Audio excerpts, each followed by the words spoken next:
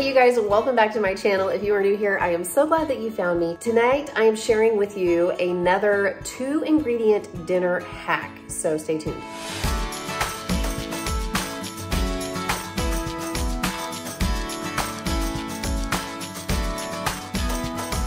All right, you guys, I made a video a couple weeks ago that you seem to really like, and I shared with you a two ingredient dinner hack. The two ingredients were a rotisserie chicken and some kind of dip, and I shared lots of ideas for how you could start with that as a base, and then you could just add whatever other things you may have lying around if you are in a bind where dinner is concerned. It's quick and it's easy, and a lot of grocery stores have that, and sometimes whenever I don't have a dinner plan, I don't have a meal plan, and I don't wanna go through the drive through but I'm going by the grocery store, I can run in and grab those two ingredients and usually I can make up a dinner really quickly with those two things. So it got me to thinking about what are some other shortcuts I have taken in the past or that I have wanted to try for quick meals. I really needed one today because we are heading out the door to ball practice in about 30 minutes. And when we get back, I will only have a little bit of time to throw something together for dinner. I wasn't able to get anything together in the crock pot. I don't have anything waiting for us in the freezer. I really hope I'm gonna do a better job about that next summer because this summer has taught me a lot of lessons about coming into it prepared. But it is what it is. Life happens. And sometimes we just need a really quick dinner shortcut. So the two ingredients that I'm going to use as a base for this meal are frozen tortellini, one of my favorite shortcut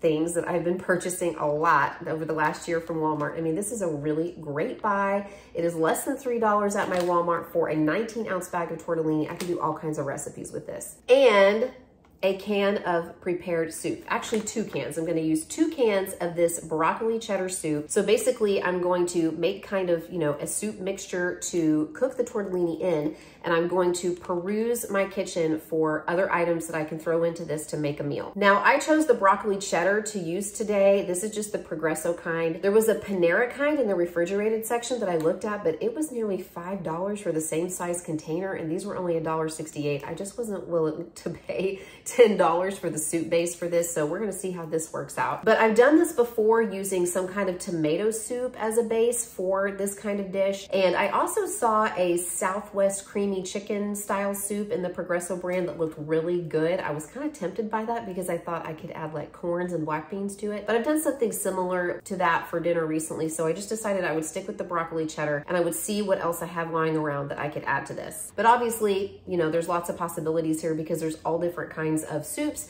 and you would just have to kind of get the liquid ratio correct and the flavor profile for what you wanted to create for yourself for that day. So I am out in my garage in my chest freezer and I'm kind of fishing around for something else I can add to this to just kind of bulk it up a little bit. And also, you know, when I'm using something salty or high in sodium, like a canned soup, the more I add to it, the more that sodium is spread out across multiple servings so it's not quite as salty. I found these, these are actually broccoli cuts. And I remember that my husband came home with these by accident a few months back when I said, hey, will you pick up some frozen broccoli when you drop by the store? Because he was going for something and I didn't specify broccoli florets and he brought home broccoli cuts and they're not the same thing.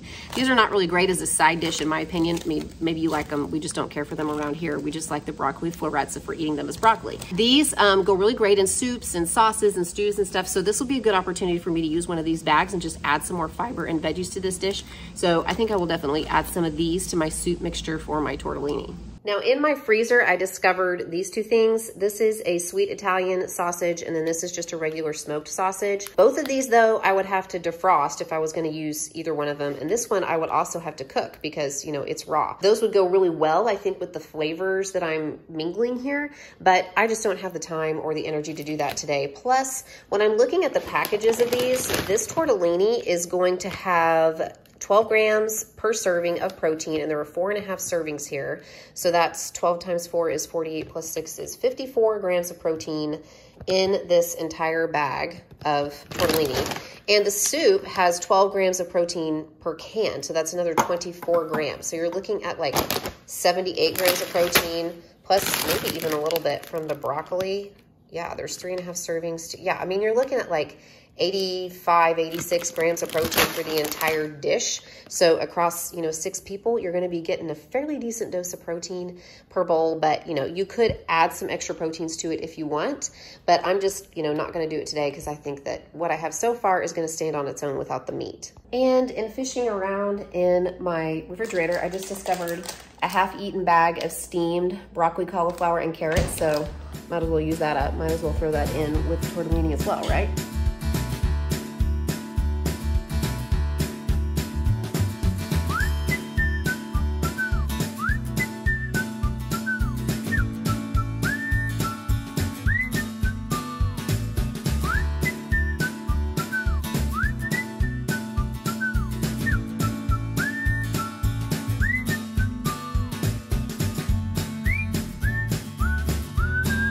So I am just stirring my uh, broccoli cheese tortellini here that I'm making up. And one thing you wanna be careful about if you're working with cream soups is obviously those will scald pretty easily. So I'm having to bring mine up on heat pretty slowly. It's probably gonna take a little longer to cook.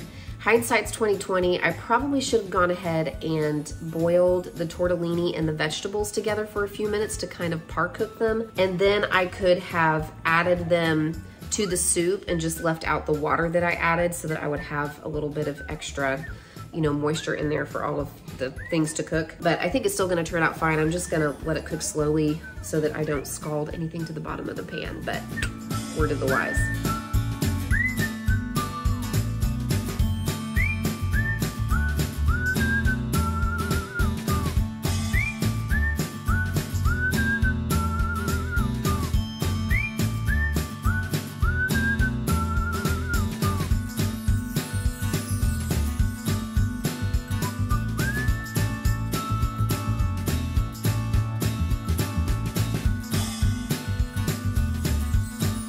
Okay, so this turned out just a little bit soupier than I intended it to be. That's my fault because I added water. Progresso is not a condensed soup. You don't have to add water. I just did because I thought maybe that the other things I wanted to cook a little bit, like the tortellinis, I wanted to plump a little bit.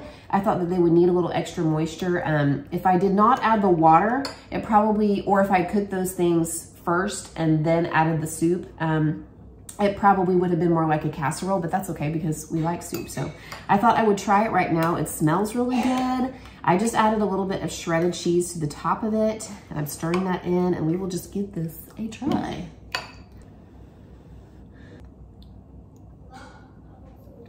It's it's pretty good. I think it's just a tad bland for me. I might just add a little bit of salt and pepper or actually maybe like some Parmesan, like some Parmesan cheese in it while it was cooking would add just a touch more flavor, but it's really good. I mean, the kids will probably prefer this way without a lot of seasoning. Maybe like some red pepper flake, just give it a little kick. It's very good and it's um, it was really easy. I mean, I don't do hardly anything. It took me longer to shred the cheese than it did for me to throw all this in a pot and turn the stove on.